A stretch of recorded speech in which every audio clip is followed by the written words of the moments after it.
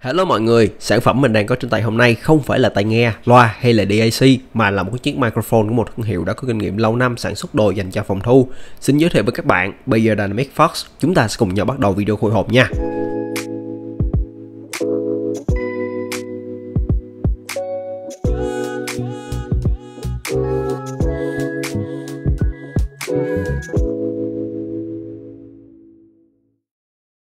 Bộ phụ kiện đi kèm sẽ bao gồm là một cái lưới lọc, dây cáp tín hiệu USB A ra C dài 2 mét. Ngoài khả năng gắn nhanh lên chân đế đi kèm thì Fox còn có thể được gắn lên các cái giá đỡ hoặc là tripod có kích thước ren 3 phần 8 inch. Fox là một chiếc mic đa hướng dạng cardio, tức là em nó sẽ tập trung hút âm ở phía mặt trước, hai bên và loại bỏ phần lớn tập âm ở đằng sau. Mọi người xem cái đồ thị này cho dễ hình dung nha. Em này sử dụng giao thức đầu vào là USB-C với khả năng thu âm ở độ phân giải 24 bit 96 kHz tương đương với chất lượng trong các phòng thu chuyên nghiệp. Ngay trên này là nút để chỉnh độ nhạy, nếu để ở khoảng cách hơi xa miệng một tí thì bạn chọn hai, còn đặt gần thì có thể chuyển về low.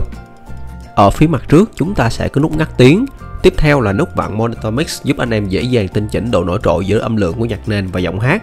Và đặc biệt, ở đây hãng còn trang bị thêm một cái cổng 3.5 và một nút volume riêng biệt để chúng ta có thể dễ dàng kiểm định chất lượng bản thu theo thời gian thực thông qua tai nghe. Với giá bán chính thức là 3 triệu 990 của một thương hiệu âm thanh danh tiếng đến từ Đức thì mình nghĩ bây giờ Dynamic Fox là một cái khoản đầu tư cực kỳ xứng đáng dành cho những ai thích hát hò, học online, làm vlog hoặc là podcast. Bạn nào quan tâm thì nhớ liên hệ ngay với tụi mình nha. Cảm ơn mọi người đã quan tâm theo dõi video.